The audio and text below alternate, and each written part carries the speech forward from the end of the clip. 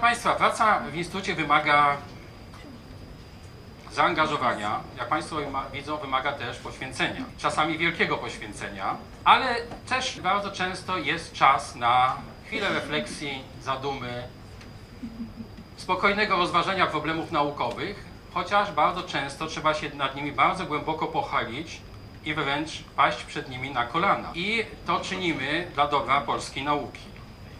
Zimowa Szkoła Leśna, współorganizowana przez Dyrekcję Generalną Lasów Państwowych, właśnie mo- można powiedzieć, że to joint venture Lasy Państwowe i IBL.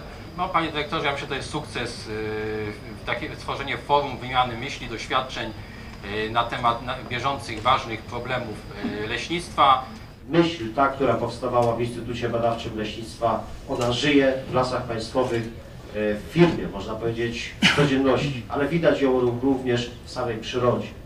Chciałbym e, Państwu pogratulować jubileuszu. Życzymy wszystkiego najlepszego, żeby się Państwu wiodło, osiągnęliście naprawdę duży sukces, bo sama infrastruktura dokonania świadczy o tym, że macie Państwo przyszłość przed sobą. Ja tylko chciałem powiedzieć, że te ciepłe słowa pana dyrektora Pigana bardzo nas cieszą. Chcemy podziękować w imieniu Instytutu Rady Naukowej za pańską hojność, jeżeli chodzi o finansowanie nauki. Za te dobre decyzje tegoroczne. To są bardzo mądre decyzje, panie dyrektorze. Z taką życzliwością mówi o tym instytucie, to on będzie się rozwijał dobrze. Bardzo panu dziękuję.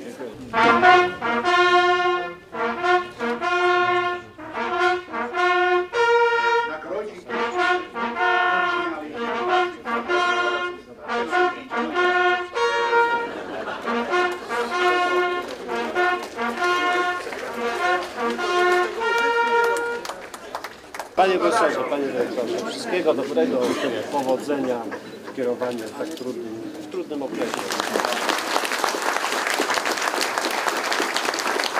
Dziękuję bardzo.